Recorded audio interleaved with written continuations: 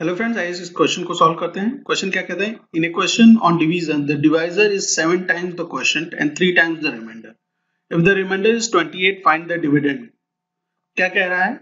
कि कोई एक डिवीज़न का क्वेश्चन है, उसमें जो डिवाइजर है, वो सात गुना है क्वेश्चन के और थ्री टाइम्स है रिमाइंडर के।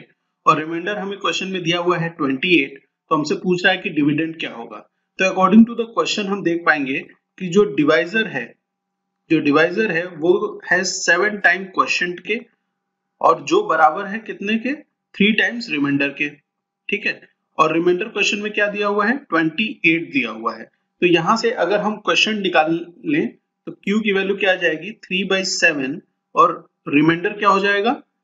ट्वेंटी एट क्वेश्चन में दिया हुआ है। तो इससे और इसको कैंसिल आउट करेंगे तो सेवन फोर जा ट्वेंटी एट ट्वेल्व हमारा क्या आएगा? क्वेश्चन आएगा। और डिवाइजर की वैल्यू अगर हमें फाइंड करनी हो कि डिवाइजर क्या है तो वो सेवन टाइम है क्वेश्चन के। और क्वेश्चन क्या निकल के आया है? ट्वेल्व तो इसको मल्टीप्लाई कर देंगे तो हमें जो वैल्यू फाइंड आउट होगी, वो क्या होगी? 84 और हमसे क्या पूछ रहा है क्वेश्चन में कि डिविडेंड फाइंड कीजिए। तो डिविडेंड क्या होता है? डिविडेंड होता है divisor into question plus remainder ठीक है? तो यहाँ पे डिवाइजर कितना हमने फाइंड आउट किया था? 84 four into twelve question plus remainder क्या था हमारा? 28 तो जो वैल्यू फाइंड आउट होके आएगी, वो क्या आएगी?